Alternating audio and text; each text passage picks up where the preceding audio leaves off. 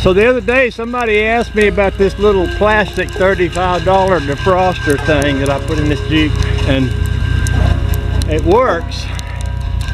And you can see it's defrosted the windshield right here in the center. Now you can also, if you listen, you can hear the alternator squealing. That's because the little thing pours so much energy that it just about overstrains the electrical system. I literally had to wire this directly to the battery because it kept blowing fuses. When it was hooked up to the cigarette lighter, in fact, it blew the fuses and everything I put it in. The only way I could get it to work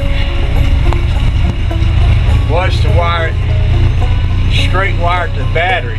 Now what I do in here while the temperature is coming up is I run this it kind of freezes out un unthaws this center section. Which gives my defroster time to get started and warmed up. And once it does it doesn't have quite as hard a job of defrosting the rest of the windshield. I usually don't run this for very long because it pulls so much power that uh, I don't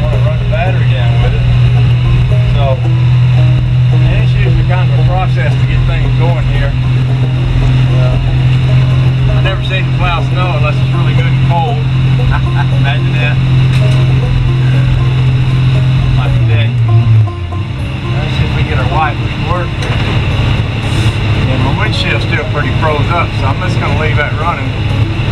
I did want to uh, gas a little bit and see where my voltmeter is at, so I got good battery right now, but it's pulled it down a little bit just running at that little bit of time.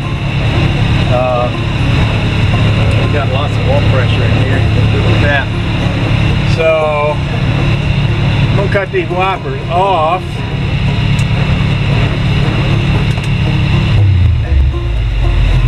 Leave it to run. I'm gonna cut this off now, too. And then I'm to go and uh, put that little snow spinner thing away that Mr. Comatose sent me. Mr. Comatose, thank you for that. We use it. We're using it.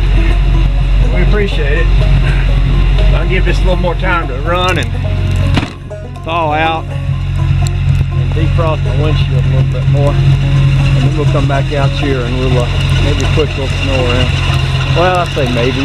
We're going to push a little snow around.